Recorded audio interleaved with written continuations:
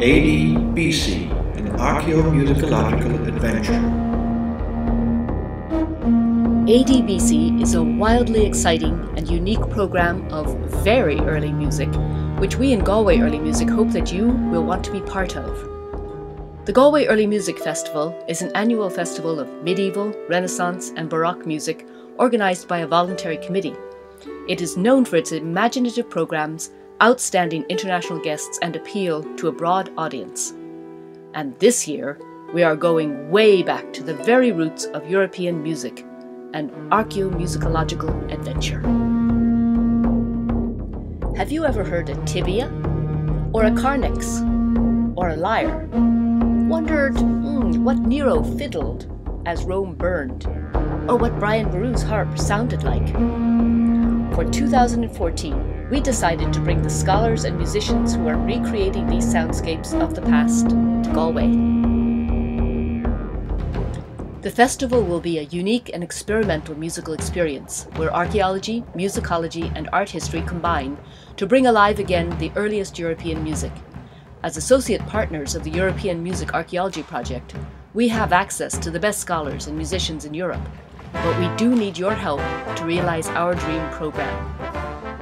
The program includes Ludi Scaenici, specialists in classical Roman music,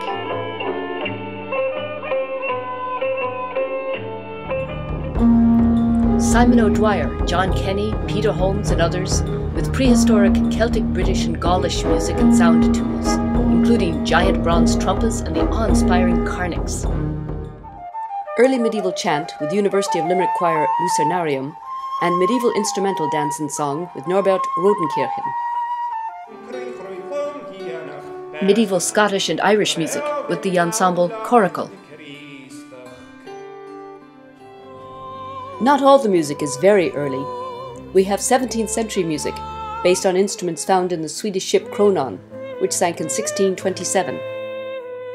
And many other events, including public presentations and workshops on Scandinavian prehistoric music, our family event, Moonfish Theatre's retelling of the medieval Irish story Buile or Mad Sweeney. We also hear that a few Roman centurions will be in Galway to help recreate the soundscape of a battle between Romans and the Celts. We even have a musical mystery ghost app that combines a tour of Galway with a thrilling mystery that you must solve. We are very excited about this program. We would be thrilled if you will join us in our adventure by supporting our Fundit campaign. Your support not only helps us to bring this music to a local and international audience, it also supports the musicians and performers who come to the festival and helps to foster interest in and support for early music studies and performance in Ireland, something that is very close to our hearts.